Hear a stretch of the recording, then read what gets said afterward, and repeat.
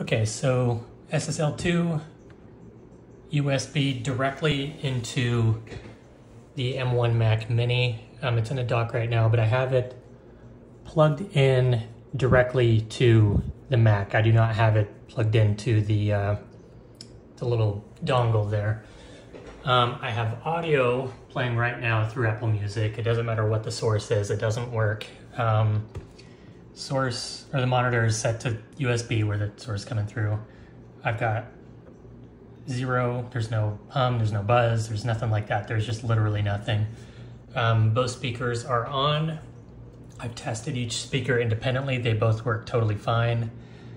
Um, I just get absolutely nothing out of the SSL2. So now let's go to the Mac settings. Go into sound. Now SSL2 Plus is selected, it's USB. But if we look down here, all of this is grayed out. I can't even mute it. I can't move this little slider. It doesn't do anything. Um, I can go straight to the Mac Mini speakers. There's our audio. So it's coming through the Mac Mini speakers just fine. Boom, we switch to the USB. Absolutely nothing. SSL2 is dead. So now let's go up here to, I'm gonna try and do this with, here we go, system, uh, system information.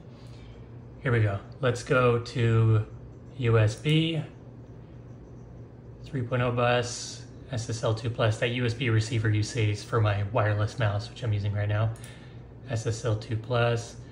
So like the computer sees it, it knows it's there, it recognizes it.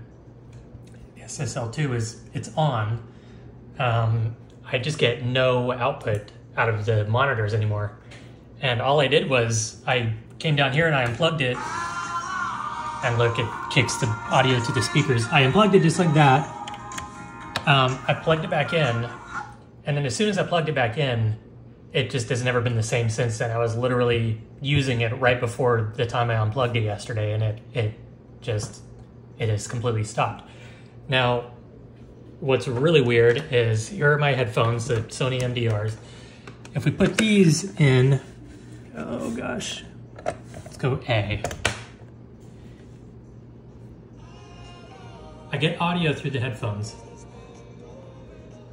Um, that song's fading out. Let's just go back here. So